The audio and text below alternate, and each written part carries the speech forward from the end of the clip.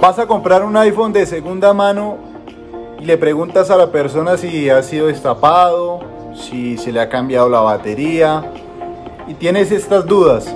A veces la persona le dice a uno, no, sí, nunca ha sido destapado, y no, sí, el celular tal cosa, pero con este ajuste que te voy a mostrar te vas a dar cuenta si el iPhone realmente le cambiaron la batería, le cambiaron la pantalla o conserva su pantalla, batería y cámaras originales.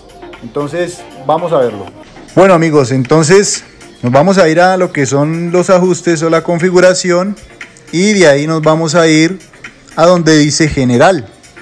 En general le vamos a dar donde dice información y en información nos va a aparecer pues mm, la información del celular y un poco más.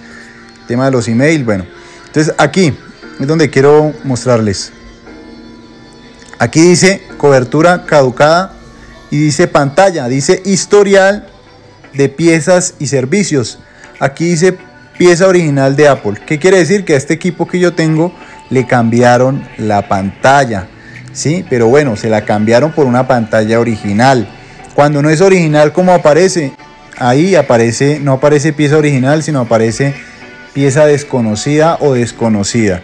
Lo mismo aplica para las baterías. Si la batería fue cambiada y le pusieron una, batería genérica, ahí va a aparecer desconocido. Siempre va a haber un historial. Esto viene de, desde el iOS 14. Apple implementó esto y aquí pues nos da esa opción. Como pueden ver, dice Apple recopila el historial de piezas y servicios y muestra información sobre los detalles de reparación y el estado de tu iPhone. Entonces amigos, cada vez que van a comprar un iPhone, por favor revisen esto, ¿sí? Porque muchas veces les dicen, no, sí, sí está, nunca se ha destapado.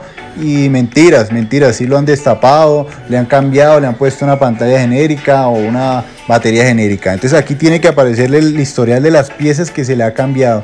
¿Listo? Así no la hayan llevado a un Apple Store, ahí va a aparecer porque esto ya es una función que se implementó desde iOS 14. Entonces amigos, espero les sirva el video. No olviden suscribirse. Ya saben, estar pendientes de eso, verificar el email por eh, internet, ¿sí? Y esta parte para lo que es el tema del hardware. ¿Listo amigos? Entonces espero les sirva el video, no olviden suscribirse y hasta la próxima.